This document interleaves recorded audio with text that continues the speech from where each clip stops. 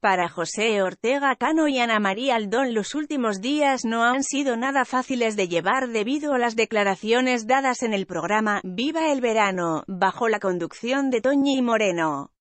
Allí el torero se ha pronunciado sobre los sentimientos que tendría aún por Rocío Jurado, algo que, al parecer, habría generado una discordia con su actual esposa.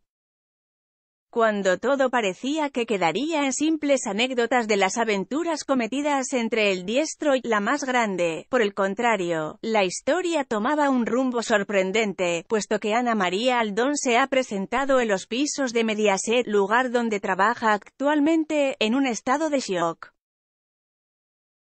Sucede que la colaboradora consideraba que no tenía lugar en la vida de su esposo, sintiéndose menospreciada, motivo por el cual el exmarido de la cantante ha salido nuevamente en televisión a través de una llamada telefónica en el programa del verano, donde quería dejar en claro que jamás ha sido su intención ningunear a su actual mujer, que la respeta y ama.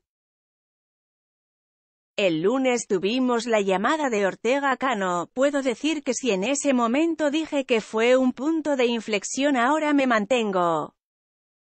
Sin embargo, estos dichos y reclamos en televisión, al parecer, han causado una crisis en la pareja, ya que según la periodista Paloma García Pelayo, tendría información que asegura, no es un buen momento para la pareja, las declaraciones de Ortega han hecho mucho daño en esa casa, los momentos no son nada fáciles. Además de la llamada, Ortega llamó solo, ella no estaba en casa.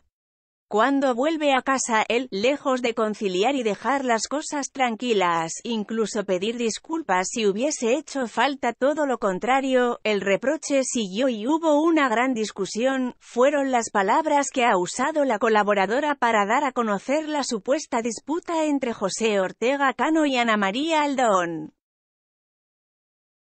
No hay dudas de que a los protagonistas del escándalo mediático del momento se les hará difícil encontrar la paz puesto que ambos mantendrían sus posturas de defender lo que han expresado y lo que han sentido durante estos días donde se han visto totalmente expuestos uno contra el otro.